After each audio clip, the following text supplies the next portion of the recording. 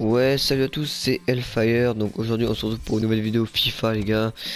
Donc, euh, donc euh, voilà, là c'est ma petite équipe que je vais me faire après. Donc je vais vous parler tout de suite de la vidéo.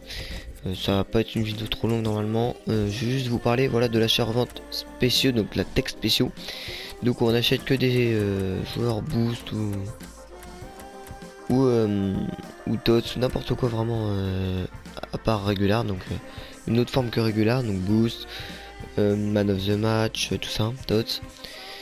Euh, bon, à part celui-là ou celui-là c'était juste pour tester.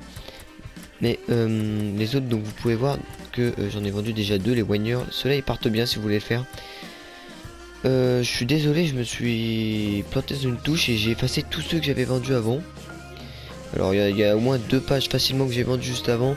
Donc là j'étais à j'étais à 30 000 quand j'ai commencé l'achat-revente. Je suis à 60 000 en deux jours, donc vraiment c'est plutôt bien.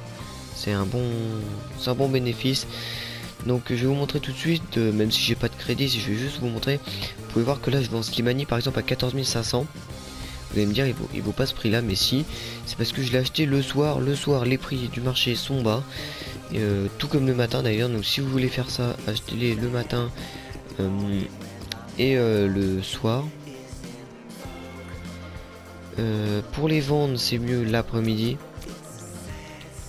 Et euh, après, vous les mettez. Euh, si vous les achetez le matin, vous les mettez 3, 6 heures peut-être. 6 heures, je crois que ça existe. Vous les mettez 6 heures, ça peut être pas mal.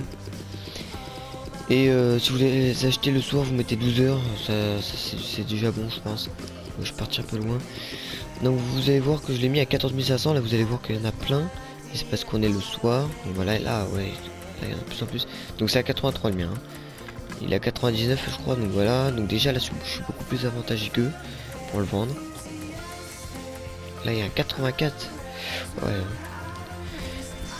Ah bah tenez, regardez. Voilà, il y en a un qui est parti. Et c'est Christensen. Donc voilà. Alors lui ça fait 3 jours que je l'ai en vente. J'arrivais toujours pas à le vendre. Ça y est, enfin il est parti. Donc normalement son prix doit être plus bas. Donc en même temps je vais vous montrer tout de suite comment j'achète euh, mes joueurs. Donc là j'ai 11 000. On va se mettre à 11 000. Euh, je me mets à 11 500 moi. Je vais vraiment 11 500. Au pire vous mettez... Ouais non, 11 500 c'est bien. Faut vous mettre une limite. 11 500. Spéciaux. Marque les premières ligues. Voilà donc là eux ils sont pas du tout intéressants. C'est des, des gardiens. C'est pas intéressant du tout. Euh, non évitez quand même un petit peu les, les argents. Enfin, ça dépend en certains, mais ceux qui partent bien, oui, vous pouvez.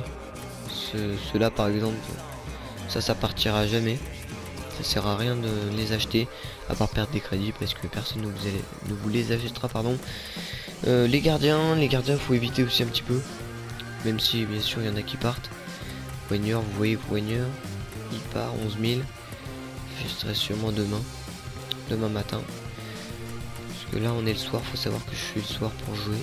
Ah vous voyez 9500 lui. Ouais lui il est vraiment merde. Voilà on va l'acheter. 9500. On va le remettre en vente. Environ 11 000. 11 000 c'est pas mal 11 000. Ouais 11 000. 11 000. Ouais voilà. Et là vous faites ça tout le temps, vous faites du bénéfice. Donc c'est la fin de cette vidéo, j'espère que ça vous aura plu, ça va pas durer trop longtemps, j'espère. Et ciao tout le monde.